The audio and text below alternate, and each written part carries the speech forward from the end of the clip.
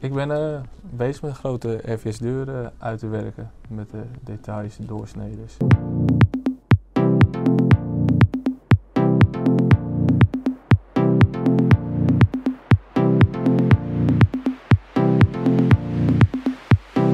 Nou, ik ben de maat aan het controleren, zodat het glas erin past.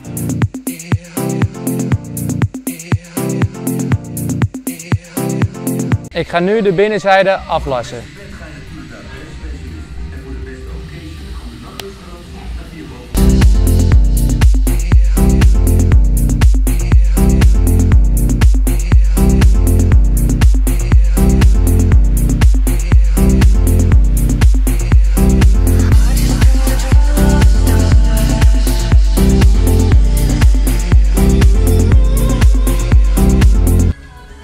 Nou, deze plaat moeten we ook uh, kanten in dezelfde vorm als dit kleine bakje. Dus op elk lijntje een zetting, dat ik hier een mooie ronding krijg. En de onderkant een, eh, een zo.